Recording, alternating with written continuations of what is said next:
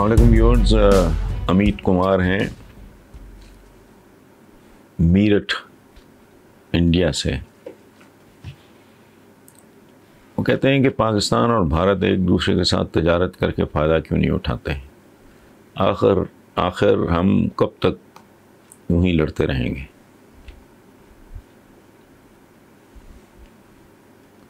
जब तक हम जैसे लोग, आप जैसे और मेरे जैसे लोग अक्सरियत में नहीं आ जाते। और उनकी आवाज़ में वो जान नहीं पैदा हो जाती। तब तक बदनसीबी से हमारी अकलों पे पर्दे पड़े रहेंगे। और ऑब्वियस तरीन बातें भी हमारी समझ में नहीं आएँगी। सौ सौ साल की जंगें लड़ने वाले एक दूसरे की के खून के प्यासे, यूरोपियंस यूरोपीय यूनियन तो पता नहीं किधर किधर फिर रहे हैं। हम जो सदियाँ इकट्ठे रहे, हम यहाँ तक नौबत पहुँची हुई है। बदनसीबी है इसके अलावा तो मुझे कुछ समझ नहीं आती है आपके सवाल का क्या जवाब है। थैंक यू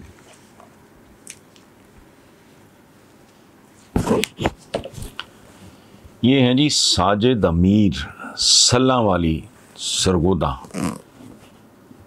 मैं नाम मैं पहली बार ही पढ़ रहा हूँ सल्ला वाली। सरगोदा का को कस्बा होगा, मजाफात का। तो साजिद अमीर साहब कहते हैं कि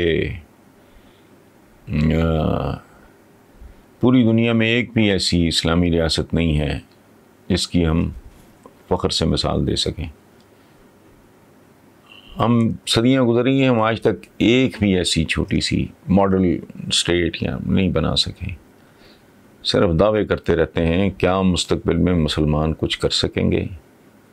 या सिर्फ़ दावे ही हमारी नई नस्ल का मुकद्दर है?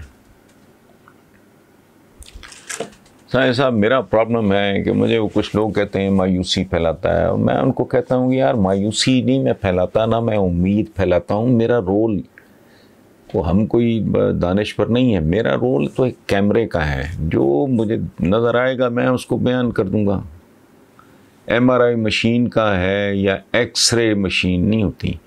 अगर बाजू फ्रैक्चर हुआ हुआ है एक्सरे मशीन आपको बता देगी कि भाई ये तीन जगह से टूटा हुआ या तुम्हारी टांग दो जगह से टूटी हुई।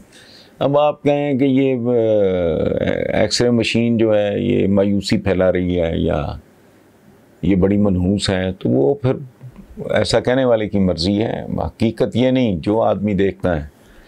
और ख़ास तौर पे मेरे जैसा एक हम्बल स्टूडेंट जो है हिस्ट्री का वो जो देखता है तो मैं आपके साथ मुकम्मल तौर पे इत्तेफाक करते हुए सिर्फ़ दो तीन सतरें ऐड करूँगा कि अब तक तो भाई मेरे बेहतरी के कोई आसार दूर दूर तक मुझे दिखाई नहीं देते। और एक बात आपको बताऊँ पूरे आलम इस्लाम की तो खैर बात ही छोड़ें, सर सैद अहमद ख़ान से लेकर ज़्यादा दूर नहीं जा रहा मैं।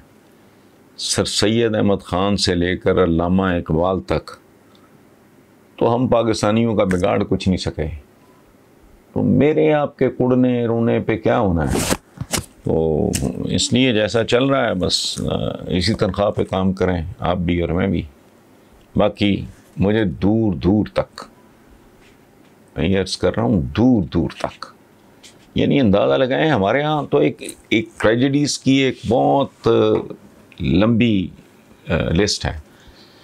उनमें से एक बहुत ही भयानक ट्रेजिडी है कि हमने इल्म को भी तकसीम कर दिया कि जी ये दीनी ूम है, ये दुनियावी ूम है, और भाई दुनियावी ूम गैर दीनी हो ही नहीं सकते। आप सर्टन ूम को कह रहे हो ये दीनी है और बाकी, इसका मतलब बाकी गैर दीनी है। वो कायनात में जो कुछ है बल्कि कायनातों में जो कुछ है।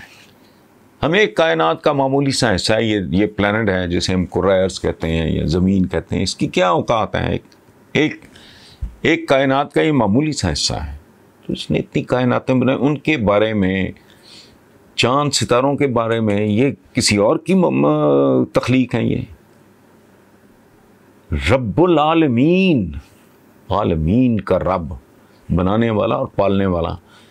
उसकी ही तख्लीक़ात है ना, जिनके उससे बियॉन्ड तो कुछ है ही नहीं और ना कोई जा सकता है।